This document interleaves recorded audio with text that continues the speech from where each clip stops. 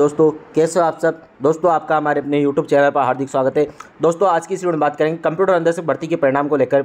बड़ी खबर आई है कि इसका परिणाम जो है दोबारा जारी होगा। इसको लेकर आप सभी के लिए बड़े अपडेट लेकर पिछले दिनों में मैंने एक वीडियो बनाया था, उसमें बताया था कि हाईकोर्ट की तरफ़ से जो है जल्दी आदेश जारी होंगे कि जो है कंप्यूटर निदेशक का जो परिणाम है वो दोबारा जारी होगा। उसको लेकर आप बड़ी अपडेट है। ये देखिए, मैंने पहले वीडियो के माध्यम से बताया था कि डॉक्टर टी एन शर्मा, उन्होंने ट्वीट करके बताया था, कंप्यूटर निदेशक का पूरा रिज़ल्ट होगा रिसफल एक्सपर्ट कमेटी करेगी छः हफ्तों में फैसला। तो इसको लेकर अपडेट आप सभी के सामने लेकर आया मैं बता दूँ कि यहाँ पे बड़ी खबर आई है कि बेसिक कंप्यूटर अनुदेशक भर्ती 2022 से जुड़ा मामला। विवादित प्रश्न से, प्रश्न उत्तर से जुड़ा मामला। हाईकोर्ट ने विषय विशेषज्ञ की कमेटी बनाकर जाँच करने के आदेश दिए। जी हाँ दोस्तों हाईकोर्ट ने है, जो है, विवादित प्रश्न से जुड़ा जो मामला है, उसको लेकर विषय विशेषज्ञों की कमेटी बनाकर जाँच करने के आदेश यहाँ पे दे दिए हैं। ठीक है? अब इसमें आपको बता दूँ कि जो है जिन अभ्यर्थियों का सिलेक्शन हो चुका है, उनको लेकर भी यहाँ पे बता दूँ कि उन्होंने यहाँ पे नियुक्ति मिल चुकी है सभी अभ्यर्थी को भी। तो उनको यहाँ पे क्या असर पड़ेगा उसके बारे में आपको बात करते हैं।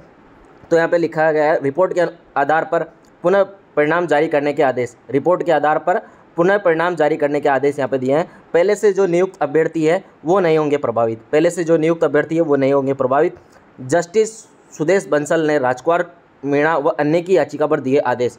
अधिवक्ता राम प्रताप सैनी ने की याचिकाकर्ताओं की ओर से पैरवी। जो अभ्यर्थियों को नियुक्ति मिल चुकी है, उनको यहाँ पर वो है, अभ्यर्थी यहाँ पर प्रभावित नहीं होंगे। रिपोर्ट के आधार पर जो है, पुनः यहाँ पर परिणाम जारी करने के आदेश दे दिए कंप्यूटर निदेशक भर्ती के। और जिन जिन अभ्यर्थियों का यहाँ पर सिलेक्शन होकर वो ज्वाइनिंग कर चुके हैं, उनकी नियुक्ति पर यहाँ पर कोई प्रभावित प्रभाव नहीं पड़ेगा। उन अभ्यर्थियों को यहाँ पर रिज़ल्ट दोबारा होने पर यहाँ पर कोई प्रभाव नहीं पड़ेगा। बाकी जो पोस्टें जो खाली रह चुकी है, उनमें यहाँ पर उनको नए जो अभ्यर्थी आएँगे, उनको ज्वाइनिंग दी जाएगी। परिणाम जो यहाँ पर पुनः जारी करने के लिए आदेश दे दिए गए। अब तक ये बड़ी खबर है कि कंप्यूटर निदेशक भर्ती से लेकर ये बड़ा मामला सामने आया है कि पुनः जो परिणाम है, वो यहाँ पे जो जारी करने के आदेश दे चुके हैं, जो अभ्यर्थी नियुक्त हो चुके हैं, उनको यहाँ पे कोई दिक्कत नहीं आएगी, उनके लिए यहाँ पे कोई परेशानी की बात नहीं है। बाकी है जो आपके लिए बड़ी अपडेट है कि बेसिक कंप्यूटर अनुदेशक भर्ती में विवादित प्रश्न से जुड़ा हुआ मामला था, उसको जो है कमेटी, विषय विशेषज्ञों की कमेटी बनाकर जाँच के आदेश करने के आदेश दे दिए हैं, जाँच करने के आदेश दे दिए तो ठीक है दोस्तों, आप सभी के लिए बड़ी अपडेट है कि कंप्यूटर निदेशक भर्ती का रिज़ल्ट जो है यहाँ पे दोबारा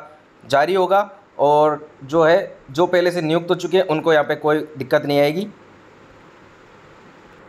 जो अभ्यर्थी नियुक्त हो चुके हैं उनको यहाँ पे परेशानी की कोई ज़रूरत नहीं है वो यहाँ पे परेशान नहीं होंगे। दोस्तों जिनका ज्वाइनिंग हो चुकी है नियुक्त हो चुके उन अभ्यर्थी को यहाँ पर कोई दिक्कत नहीं आएगी। बाकी जो रिपोर्ट के आधार पर यहाँ पर जो है परिणाम जा, दोबारा जारी करने के आदेश यहाँ पर दे दिए गए हाईकोर्ट की तरफ़ से।